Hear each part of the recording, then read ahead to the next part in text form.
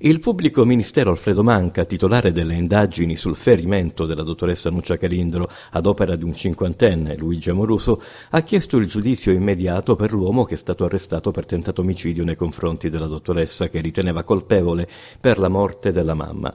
La Procura della Repubblica ha così chiesto il giudizio immediato ed ora si attende la risposta del giudice delle indagini preliminari che entro cinque giorni dovrà accogliere o respingere la richiesta. Ricordiamo i fatti del 4 dicembre scorso in cui la dottoressa Calindro è stata assalita da Amoruso che l'ha colpita con pugni e poi con un cacciavite provocandole diverse ferite.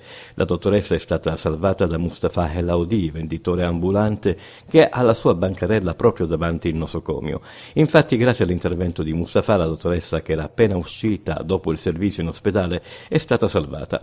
La richiesta del dottor Alfredo Manca è una richiesta di rito speciale che vuol dire saltare l'udienza preliminare, così secondo il codice di procedura penale. Lui Luigi Amoruso è in carcere perché è destinatario della misura cautelare di tentato omicidio aggravato dalla premeditazione e dalla crudeltà. È trascorso appena un mese dall'aggressione e ancora oggi bisogna dire che la dottoressa Calindro e la sua famiglia, gli effetti di un trauma anche interiore di sofferenza, il giudice per le indagini preliminari a cui è stata fatta la richiesta di rito speciale ha cinque giorni di tempo per decidere per il giudizio immediato, ma sicuramente le prove non mancano. Infatti l'Amoruso nell'interrogatorio con la dottoressa Romina Rizzo ha fatto emergere un profondo rancore nei confronti della dottoressa Calindro che si portava dentro dalla morte della madre per una patologia oncologica. Intanto c'è la testimonianza di Mustafa, intervenuto subito, come ha sentito le richieste da, d'aiuto della donna. La dottoressa Calindro ha bloccato Amoruso fino all'arrivo delle forze dell'ordine.